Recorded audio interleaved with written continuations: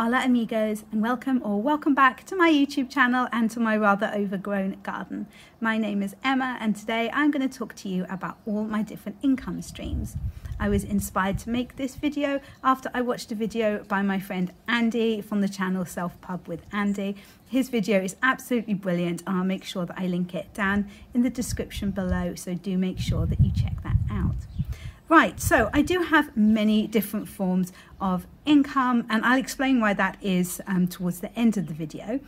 I am incredibly lucky in that I am able to make a living from writing and publishing. So not all of my income comes from book sales, as I will explain, but basically it's all publishing adjacent, which I am incredibly grateful for.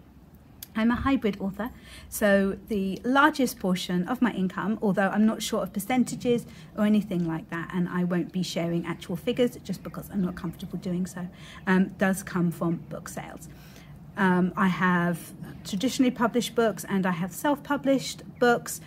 I have a lot more books traditionally published now than self published. That wasn't always the case at all. And if you are interested in hearing about that move from just self-publishing to um, more traditionally published based, then I do have videos about that as well. So yeah, I do make much more money from my traditionally published books. So, so my kind of major source of income is my royalties from my contemporary romances, which are published with Joffe Books, who are absolutely brilliant. I then have income from my self-published books. So that's my series of non-fiction books for writers. And I also have a children's picture book available. I'm hoping to have more of those available in the future. So from those books, as well as just the um, royalties, I also have um, PLR, which is public lending rights. So that is the little amount of money that writers get paid every time you borrow one of their books from a library. Um, and that's really nice. I think that still gets paid every year, but I could be wrong about that. But it's a nice kind of little extra there. So I recently signed a contract for four of my contemporary romances to be made into audiobooks and that was really really exciting. I haven't had audiobooks done before. And also that contract included an advance. So an advance is um, where you get a lump sum of money upon signing the contract as opposed to just getting kind of royalties um, coming in every quarter. Um, oh, that is when my royalties come in for my traditionally published books, by the way. I think that that is very usual for publishers to pay you quarterly. Anyway, so that advance was um, obviously really nice and possibly like another source of income to book sales. I'm not sure. I don't know how that works, but we'll we'll kind of chuck that in there as well. Um, advances aren't nearly as um, common as they used to be. Um, so yeah, that was just a really nice little extra. And if you want to hear more about um, my audio contract, my video, I think it was last week, was um, all about that. So make sure that you check that out. Anyway, right, so what have we covered? So we've covered book sales, we've covered advances, we've covered um, public lending rights. Um, so next is teaching creative writing. I run a creative writing class once a week at a local community centre. I really, really love doing this and it's actually funded by a national lottery grant. And what's brilliant about this is that it means that the people who come along to the class only need to pay a nominal amount to attend. So it really is open to everybody. Um, and it's great fun. I've learnt a lot through doing it, and it's really kind of made me think beyond my genre, which has been great fun, and I definitely think has improved my writing.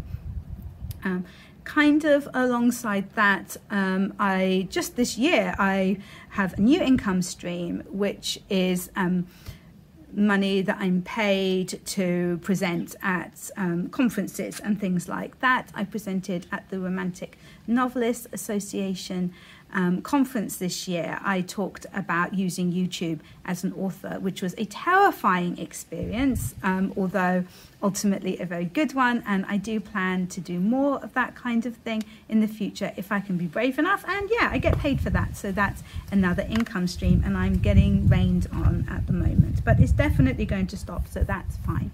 Okay, so kind of moving um, into something else completely different for a bit, um, I am also a freelance developmental editor. So I typically offer my services on Fiverr.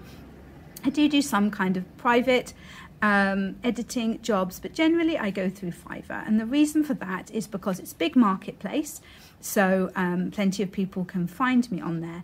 But also, um, it just means that there's that um, kind of safety. That's probably not the right word, but for me, the editor, and also for the writer, that um, I'll get paid and also that they will be happy with the service that they receive. Um, and I've been pretty happy with Fiverr. I've also made a video about that, but I do need to do um, a more recent one.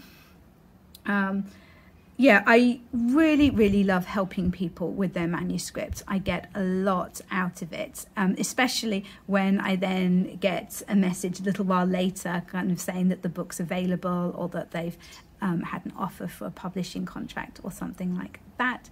So I specialize in romantic fiction, but um, I also edit thrillers, um, nonfiction, all ages of children's books and YA. I think that covers it.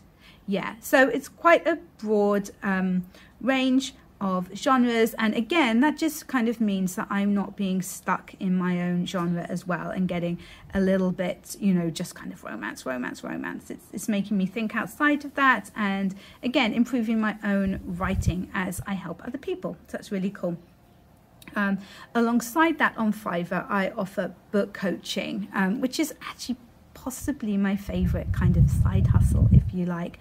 Um, so, book coaching is it's kind of encompasses all kinds of things, and it is completely tailored to the individual client. So I might have somebody who wants me to go through just a section of their manuscript, for example. Or I might have somebody who wants to talk to me about um, how they can write a synopsis and a query letter and who they should be querying in terms of agents and publishers. Or I might have somebody who actually wants to work on their writing because they're wanting to write a book, but they don't feel that their writing is strong enough. So they're kind of almost hiring me as like a writing coach in that case, but it's kind of all all connected to these things. So, yeah, what's really great is that no job is the same by any means, and it's really, really great to work with different writers and to see their progress and the progress of their manuscripts over time. So, yeah, another really great one. Okay, so then we have YouTube. So, my channel is monetized, so I receive money every time people watch an advert um, during my videos. So that's really cool. Uh, and then kind of attached to that is I am an Amazon affiliate. So I have a store on Amazon and um, I do say like down in the description that if there are links um, for kind of Amazon things, they are affiliate links. So it doesn't cost you any more to use that link to click through and to buy something, but I do get like a tiny commission for that. So, you know, that's not making me millions, but it's kind of all these little things um, dripping into it. Um, yeah, so I think that's it. I've got my notes here and I can't see anything else. So I think that that's probably it in terms of the different income streams. So I did say that I was going to explain why I have so many income streams. Um, so I absolutely love writing. I really, really do. And I would be very happy um, to spend all of my time writing. That would probably be my absolute preferred thing. If I could only choose one thing to work on, one kind of job, if you like, it would be my writing, although I get a huge amount out of teaching people and out of editing as well. But the reason why I have so many different income streams is just because um, the income that you receive from book sales is just so variable. You really do not know how much you are going to make on a month to month basis.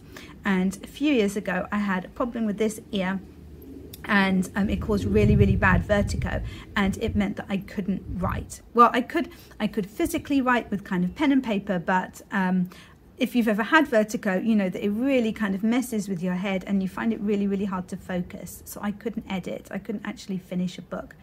And so I pulled all of my books from my publisher at the time because I wasn't able to fulfill commitments. And it was a really, really sad time. Um, I really missed being able to write properly. And, you know, obviously, I missed the, the book sales.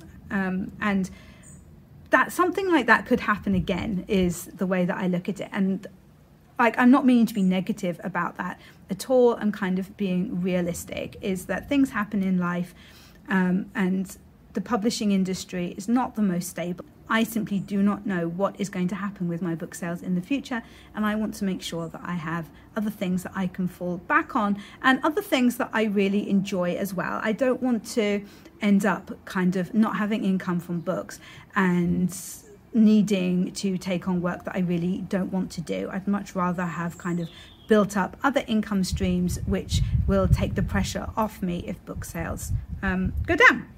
So yeah, there we go. That is the reasoning behind that. So I do actually have some other income streams, which I'm really hoping to develop in the next year or two, but I'm going to save that for another video. That is going to be next week's video. So I really hope that you will, well, boop the like button if you have enjoyed this video and subscribe if you're not already so that you can get notified for when that video about the income streams I would really like to start in the next year or so will be out next Friday, I believe. So thank you so so, so much for joining me today. I really hope that you've enjoyed this video and I would love to know, if, especially if you have any unusual income streams that supplement your writing, please let me know down in the comments below and I will catch you in the next one.